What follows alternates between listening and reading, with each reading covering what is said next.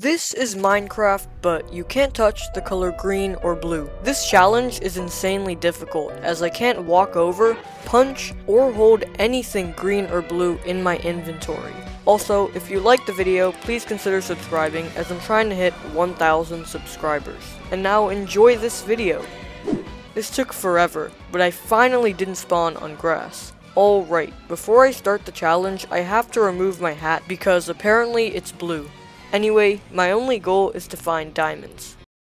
So the last seed was too difficult, and after creating about a hundred more worlds, only two of them didn't spawn me on grass. The first one spawned me on a small island with a bamboo jungle in the distance, but I couldn't escape because there were no trees and I was surrounded by water. In the second world, I was carefully collecting wood, then suddenly a goat hit me onto a grass block. Alright, have I spawned on grass? Well, that was close. This seed is extremely lucky. I already found a mushroom field and... Should I consider mycelium green? I think not. I mean, I wouldn't count dirt as gray because it has a few tiny gray pixels.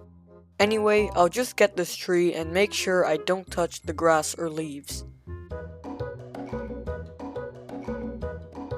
At least I can mine grass with sand in my main hand, but I can't pick up the saplings.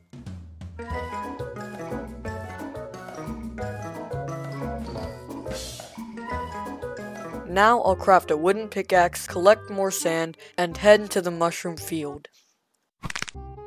I'll put the seed in the description, but what makes this even better is that the already rare mushroom biome isn't surrounded by water, as it usually is. Now I'll gather stone for a pickaxe, axe, and a furnace, then get some food.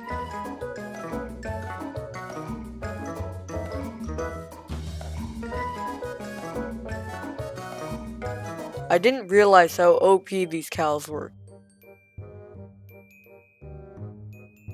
I found a cave, so I'll head inside. I already found iron and some coal, which I'll get for torches and to smelt my food and the iron. 20 torches should be enough, and now I'll mine this iron. Wow, there's a lot. I'll light up the area and there's even more iron. I'm glad I'm in a mushroom field because only mushrooms will spawn and mining will be a breeze. It's only been about a minute and I already have enough iron for a full set of armor and tools. Now I'll make some iron tools and wait. I think ladders should be an efficient fuel source. I finally have a full set of armor and my food is cooking. I replenished my hunger and now I can find diamonds. I'll head this way and I already see a creeper. I would have made a shield, but I didn't have enough wood.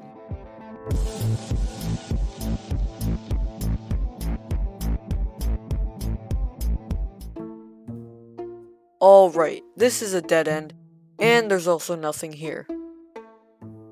I can't go in here either because it has water and there's too many mobs. This way might also be too risky. I searched everywhere and I think my only other option is to strip mine. And I reached bedrock.